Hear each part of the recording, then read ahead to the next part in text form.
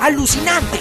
Dos marcas de toda la vida se juntaron para crear el nuevo helado Inca Cola de Donofrio.